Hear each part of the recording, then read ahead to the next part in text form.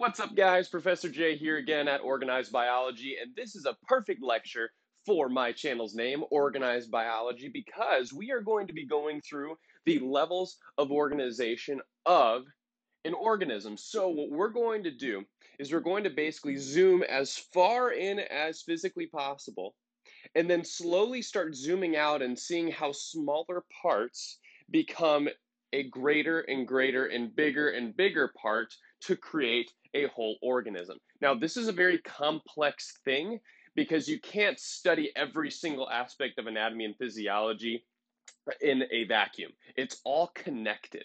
Everything is made up of other things. And so, what we're going to do is we're going to tear it all the way apart to the atomic level, and we're going to build it slowly and slowly up until we see an organism in all its beauty and glory. So, let's get started. It may take a little bit, but I think it will be incredibly helpful.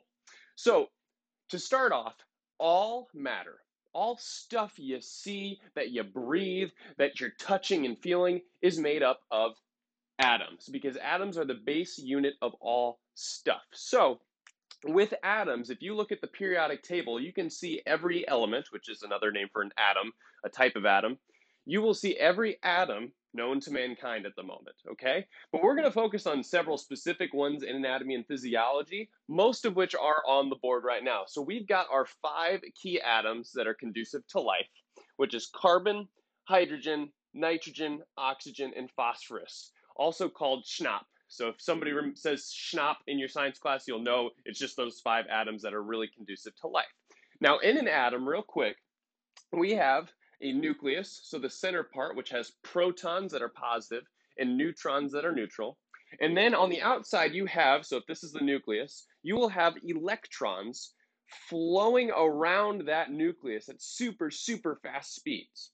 So this is where all energy comes from, is from those transfer of electrons because they're the ones moving. They have all this kinetic energy. yeah, we're going into physics. They have all this motion energy that if they bind with something else, well, now the energy is transferred to something different, and then that can do something different, and that can do something different. Okay, so it's all about these flow of electrons. So let me give you an example. When we're talking about calcium, for example, in a in anatomy physiology course, a lot of the times we will write it as Ca2 plus. Now, what Ca2 plus? Well, what this means is that it lost two electrons, which electrons are negatively charged. So if it loses two electrons, well, guess what? It becomes a positive 2 charge. Okay, so now we've got a positive 2 charge calcium ion that's really, it actually dissolves in water better. And this will do very specific things for the cell. And we're going to talk about that in later detail. So whenever you see something with a positive or let's say chlorine with a negative one charge, that just means that it is in its ionized form. It is now a charged element and that will behave in a certain way. And we'll see that a lot more later on. But just know that if you see a positive or negative charge, that just means that the atom has become ionized. It's either lost or gained an electron. Okay?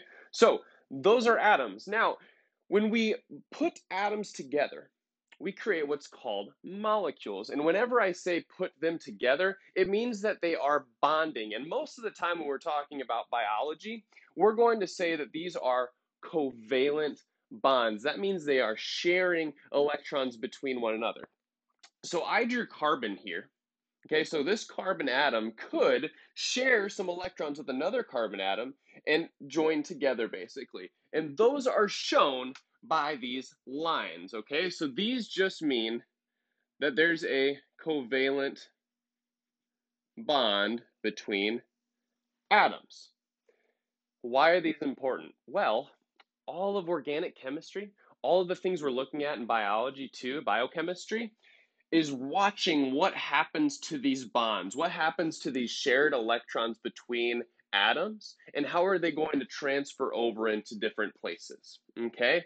And within mm. these bonds, I always tell my students that these bonds, they store energy. So all of these bonds store a lot of energy in between them. Think of it as like so if you shake somebody's hand, right? When you shake somebody's hand, you have energy here. You have stored energy because if somebody tries to break these, like if somebody tries to break your handshake, it would take a lot of energy. If you're holding really tight, they would really have to push and pull, and then boom. When they break, when bonds break, it releases energy. When bonds are formed, it stores energy. So try to think of it that way. So I've got a few different molecules up here, and this is how we write them. This has an O bonded to a C, which is bonded to another O. Double bonds here. There's two bonds. So think of like two arms holding. And this would be written as CO2. Now, why? Because you have one C and you have two oxygens. So C1, technically, O2. Carbon dioxide. We've heard of that before. Over here, we've got HOH, also, uh, also known as H2O, water. Two O's is O2, which this is an oxygen molecule. Okay, so even though it's just one atom type, if you have two or more atoms together, it's considered a molecule.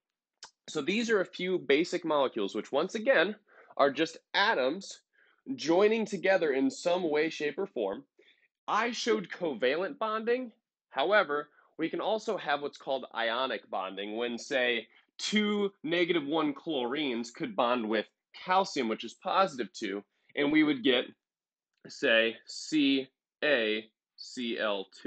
So this would be an ionic bond because they're turning into their ions and then they're coming together really hard. Whereas covalent bonding is when they're sharing electrons.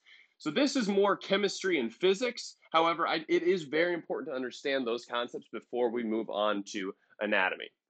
So let's keep building up. So we've got some molecules here. Well, now what if we have a ton and a ton, a ton of atoms chained together into this big molecule? Well, what do we call it? Macromolecules. Macro means big, so like macroeconomics, looking at the whole of economics. Macromolecules just means a big molecule. There's four types. Now, if you are a fitness guru, you may have heard, oh, I got to get my macros in today. You're usually talking about three of them, and that is your carbohydrates, so like your grains, your lipids, which are fats, whether it's from a plant source or a uh, animal source like uh, steak, all that stuff, butter. Um, you can also have plant butters, which would be a plant-based uh, type of lipid. It's also just another name for fat. And you have proteins. So that's meat, right? Uh, you can also get proteins from like soybeans and different things like that. But proteins are basically the building blocks of life. Now, why do I say that? Proteins can be incredibly uh, specific. So think about all the different types of, I don't know, notebooks there are, right? There's small notebooks, there's big notebooks, there's really long notebooks, there's blueprints, there's all these sorts of structures of notebooks that are functioning for a certain purpose. So, depending on the structure, the size, the shape, the orientation of a protein, they're going to be doing different things. And that's true for all of them, but especially for proteins. They are the building blocks of specifically cells, which we'll get to, but I'll just say of living things. Okay, so those are the three main macromolecules that you may have heard of already, but nucleic acids is another one. Nucleic acids, some examples you may have heard of are DNA, so your instruction manual for how to build your body. It's also in all living things. You also may have heard of mRNA from the COVID 19 vaccine that came out, was an mRNA vaccine.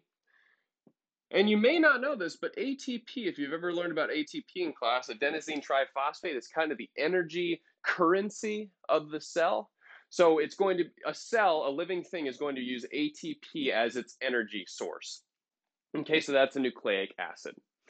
Once again, let's just step back. These are big molecules made of many, many atoms put together into this big chain or circle or whatever the orientation is. And those are all made up of atoms.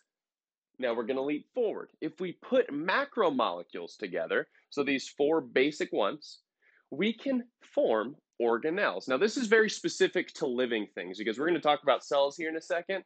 Organelles are literally miniature organs within a cell.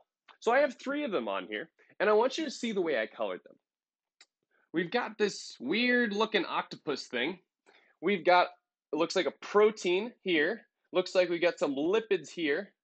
We got another protein here, and we've also got some carbohydrates kind of floating on the outside.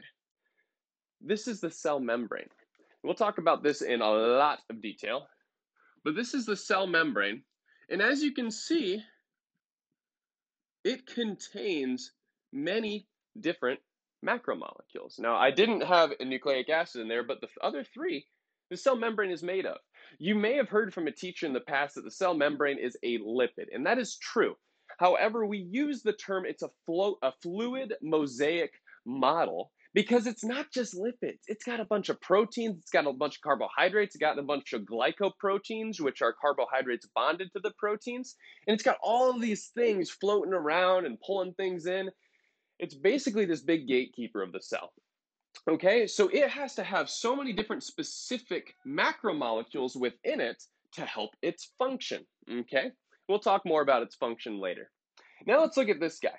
This guy has a lot of nucleic acids. This is specifically DNA. It's got some proteins inside, and it's surrounded, once again, by a membrane.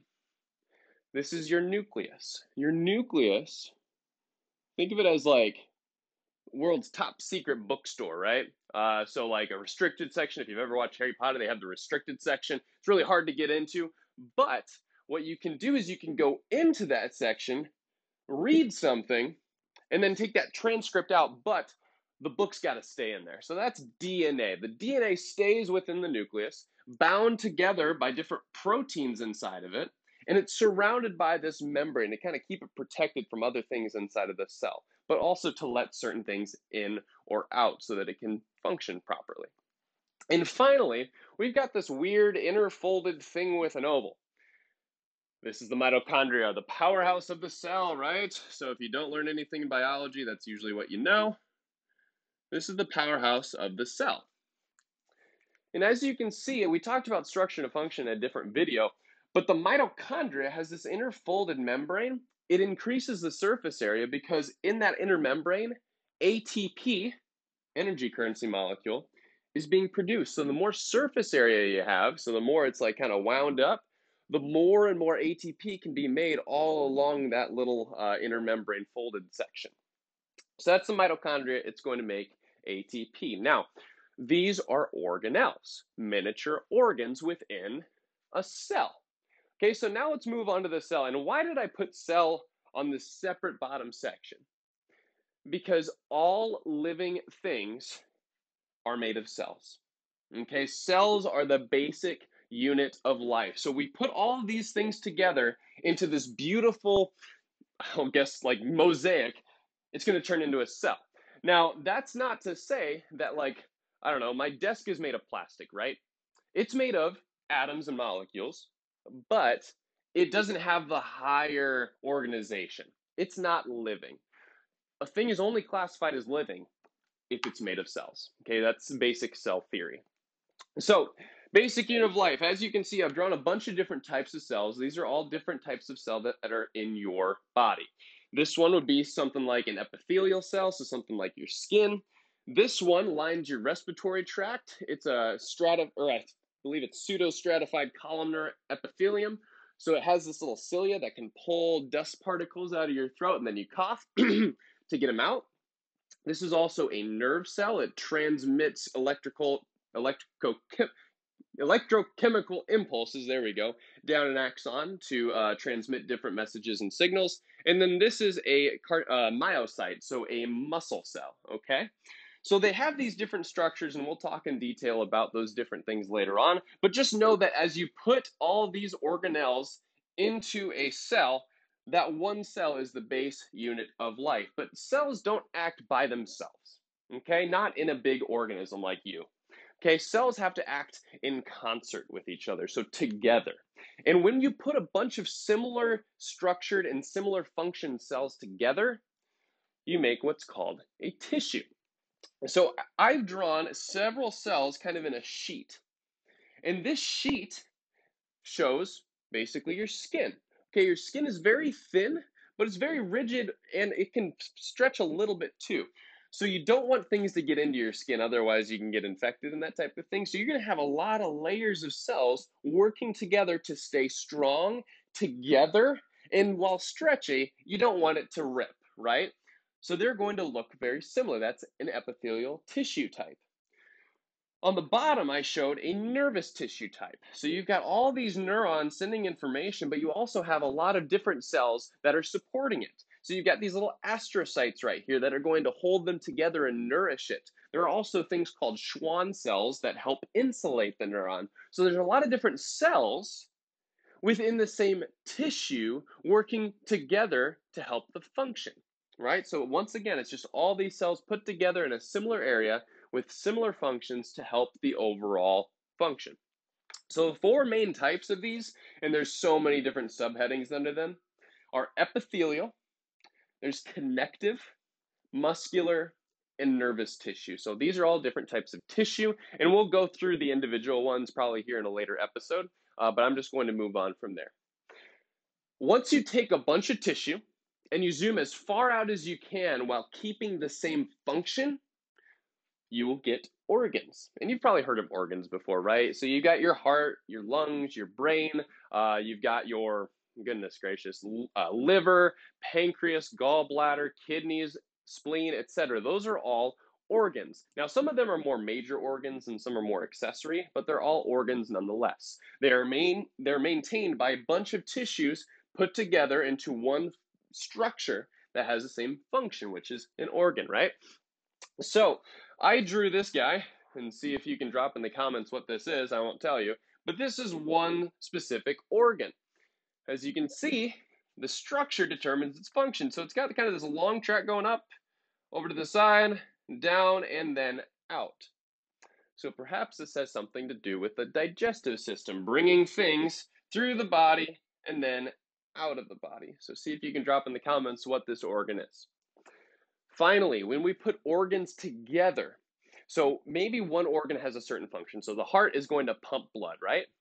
But the heart also needs to get oxygen to its cells, and it also has to get oxygen all the way throughout. That's the goal of the heart, basically, is to pump oxygen uh, as well as other nutrients throughout the body. So where does it get the oxygen? Well, it pumps, and part of it goes to the lungs. When you breathe in, you breathe in oxygen, that diffuses into your red blood cells, which go back to your heart to be pumped out to the rest of the body. So that's called the cardiovascular system. So cardio meaning heart, vasculature meaning uh, um, vascular meaning your vessels. Um, and so if you put the cardiovascular system with the respiratory system, your breathing, that's kind of one main system together. So it's working together to nourish your body with oxygen but they have different sort of functions. So your lungs don't pump, your heart pumps. Your heart doesn't inflate like your lungs do because the structure determines the function. Okay? So finally, those are organ systems. So I have this great, I don't know if this is a mnemonic or acronym still, but I say that organ systems are remembered best by remembering my cruel Dr. Mins, who was my fake anatomy professor. Cruel Dr. Mins stands for every single organ system in the human body cardiovascular, reproductive, urinary, endocrine, lymphatic, digestive, respiratory, muscular, integumentary, nervous, and oh my goodness, S. Drop in the comments what S is. Oh, I just remembered it, but I'm going to make you remember it. So I drew one of them, and these are your kidneys connected by ureters to the urinary bladder and then urethra. The goal of these organs working together in a system is to basically pee out the waste you don't need and mm-hmm. reabsorb in the kidney what you would like to hold on to. Okay? So even though there are multiple organs working together, like organs, they have a common function. They're working in a system.